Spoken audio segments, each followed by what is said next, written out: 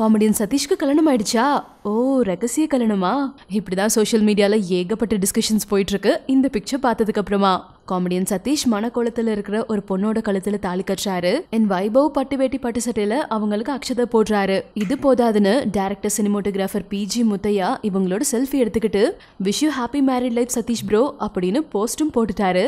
இதை ரீட்வீட் பண்ணி வைபவும் கங்க்ராட் சொல்ல. நிஜமாவே சதீஷ்க்கு கல்யாணம் ஆயிடுச்சுன்னு சொல்லி பல பேர் அவருக்கு கால் பண்ணியே கேட்க ஆரம்பிச்சிட்டாங்களாம். அடடா இது வெறும் ஷூட்டிங்காக நான் எடுத்தது கல்யாணம்லாம் இன்னும் ஆகலப்பா அப்படின்னு சதீஷ் இப்போ கிளியர் பண்ணியிருக்காரு ஆல்ரெடி ஒரு ஃபங்க்ஷன்ல இவர் கீர்த்தி சுரேஷை பத்தி ஜாலியா பேச போய் இவருக்கும் கீர்த்தி சுரேஷ்க்கும் காதல் கல்யாணம்ங்கிற ரேஞ்சுக்கு ரூமர்ஸ் ஸ்ப்ரெட் ஆக ஆரம்பிச்சிருச்சு. இப்போ ஒரு படி மேல போய் இவருக்கு கல்யாணம்னு சொல்லி இவரோட ஃப்ரெண்ட்ஸே கிளப்பி விட்டுட்டாங்க. வால்மெட் என்டர்டைன்மெண்ட் ப்ரொடக்ஷன்ஸ்ல வைபவ் சதீஷ் ரெண்டு பேரும் சேர்ந்து ஒரு படம் பண்றாங்க. அண்ட் இந்த படத்தோட ஷூட்டிங் ஸ்பாட்ல இருந்து தான் இந்த வெட்டிங் பிக்சர்ஸ் ரிலீஸ் ஆயிருக்கு. இது போக சதீஷ் ஜீவாவோட கொரில்லா படத்தை கம்ப்ளீட் பண்ணியிருக்காரு. அதுக்கப்புறம் ரத்தன சிவா டைரக்ஷன்ல மறுபடியும் ஜீவா கூட சேர்ந்து ஒரு படம் பண்றாரு. பாபி சிம்ஹாவோட அக்னிதேவ் ஜிவியோட ஹண்ட்ரட் பர்சன்ட் காதல் ஃபோஜி சிவகார்த்திகேயன் நயன்தாரா படம்னு சொல்லி பல படங்கள்ல பிஸியா இருக்காரு.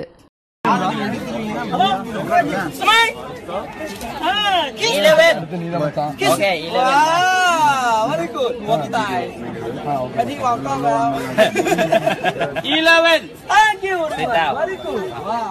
சரி நம்ம சதீஷ்க்கு தமிழ் சினிமா இண்டஸ்ட்ரியிலேருந்தே ஒரு பொண்ணு பார்க்கணுன்னா எந்த பொண்ணு இவருக்கு பர்ஃபெக்டாக இருப்பாங்கங்கிறத கீழே கமெண்ட்டில் வித்யா கூட ஷேர் பண்ணுங்கள் இது ஒரு பக்கம் இருக்க. ஜானு த்ரிஷாவோட கேரக்டரில் இப்போ ஆக்ட்ரஸ் பாவனா கமிட் ஆயிருக்காங்களாம்.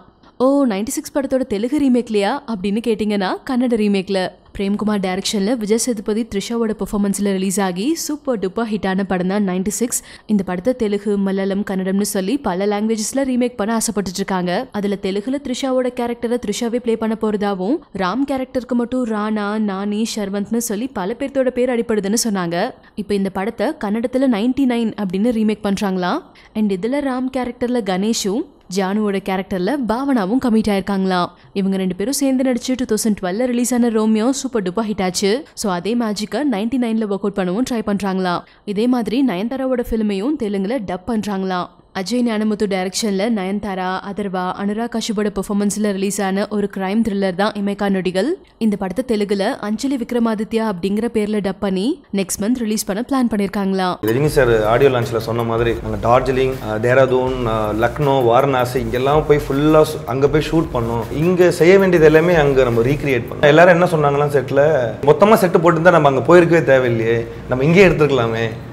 அப்படின்ற அளவுக்கு சொல்கிற அளவுக்கு நல்லா வந்தது. என்னுடைய ஃபேவரட் செட் வந்து அந்த ஊழல அந்த